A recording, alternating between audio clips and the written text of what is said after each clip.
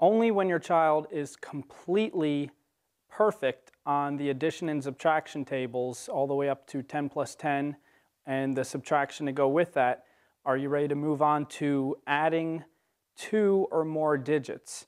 And so we'll start over here. Start with just two digits, of course. You can even start with two digits adding to one digit, but the most important thing is to teach them how to set up this kind of problem to start with. Teach them that you always line it up starting from the right side, one number over one number. Teach them that you put the plus sign there and you put the line underneath, and then you can begin to add. Now, don't put any, for the beginning problems, any problems that include carrying. So this one is simple. There is no carrying involved. And there's our answer.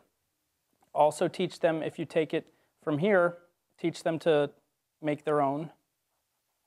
Line it up the way you taught them.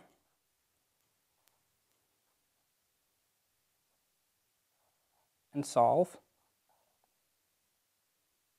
And then once they've mastered that, then you can teach them the art of carrying, which if you remember from school, Carry the 1 from 15, add the 1.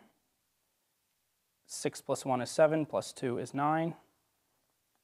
And from then, now we're talking about day by day as you start to make the problems harder, and we're talking about dozens of problems, then you can move on to higher numbers of digits, three digits, four digits, and more complicated math.